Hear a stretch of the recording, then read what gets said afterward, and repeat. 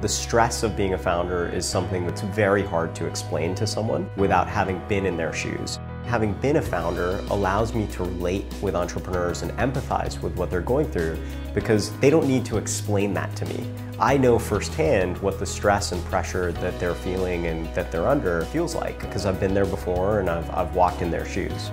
My name is Gautam Gupta. I'm one of the partners at M13.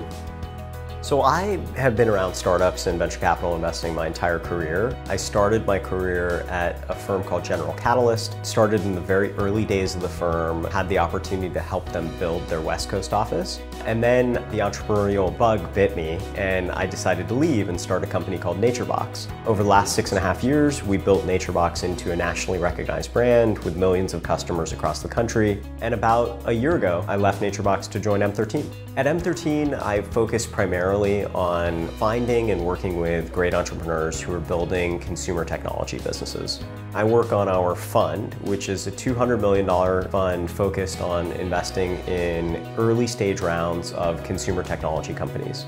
The goal for us is to not just try to pick winners, but actually actively help make winners. And I think that's what's really unique about the model.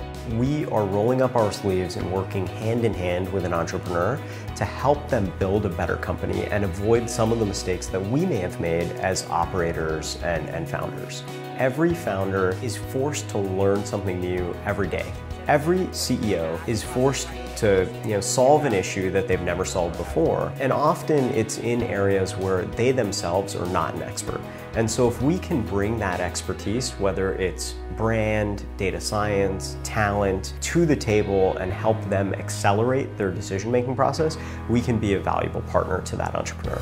One of my proudest moments at M13 so far has been where a founder of one of our portfolio companies said to me, I think of you as my first phone call. And so I'm gonna talk to you about a very sensitive issue uh, because I'd like your opinion and I'd like your feedback. And you know, for me, that was a great moment because that meant that you know we had that relationship of trust built and we had been giving that company enough value that they saw the value of, of calling us first.